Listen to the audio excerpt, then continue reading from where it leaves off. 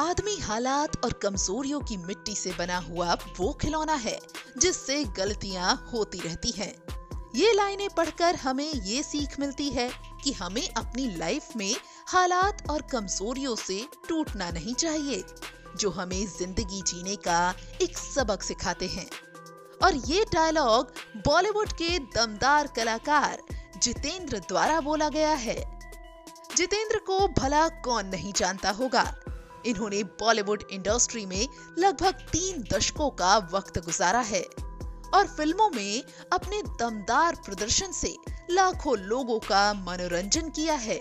इन्होंने दर्शकों को एक से बढ़कर एक हिट गाने दिए हैं, चाहे फिर बात हो नैनो में सपना जैसे गानों की, या फिर ढल गया दिन हो गई शाम जैसे गानों की। इन्होंने अपने अभिनय करियर में एक सफल मुकाम हासिल किया है। लेकिन आज हम आपको इनके बारे में नहीं, बल्कि इनकी संपत्ति से रूबरू कराने वाले हैं। कि आखिर इतनी लग्जरियस लाइफ जीने वाले अभिनेता जितेंद्र कितने करोड़ की संपत्ति के मालिक हैं और कितनी लग्जरियस लाइफ जीना पसंद करते हैं। तो चलिए जानते हैं आज की हमारी इस वीडियो के ज़रिए।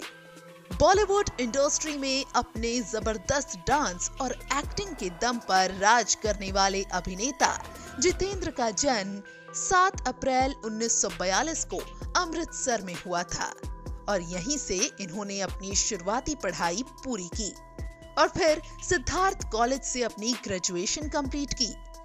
अगर बात करें इनके अभिनय करियर के बारे में तो जितेंद्र अपने पिता के साथ ज्वेलरी की सप्लाई के लिए इंडस्ट्री आया करते थे। यहाँ इनकी मुलाकात film director V Shantaram से हुई। और इसी दौरान डायरेक्टर वी शांता राम ने इन्हें फ़िल्म नव रंग के लिए कास्ट किया।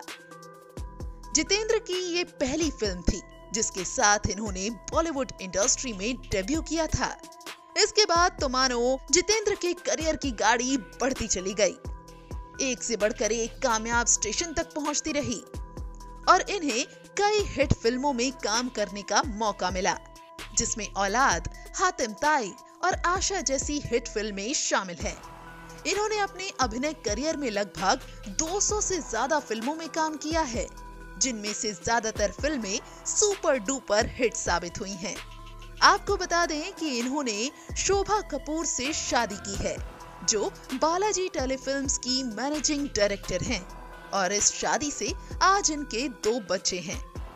लेकिन अगर बात करें इस दमदार अभिनेता की कुल संपत्ति की तो आपको बता दें कि फ़िल्मों में अपने दमदार अभिनय से हर किसी का दिल जीतने वाले इस अभिनेता की कुल संपत्ति 290 करोड़ रुपए की है, जहाँ अपने दौर के मशहूर अभिनेता रहे जितेंद्र अपनी हर एक फ़िल्म के लिए 50 से 60 लाख रुपए चार्ज करते थे।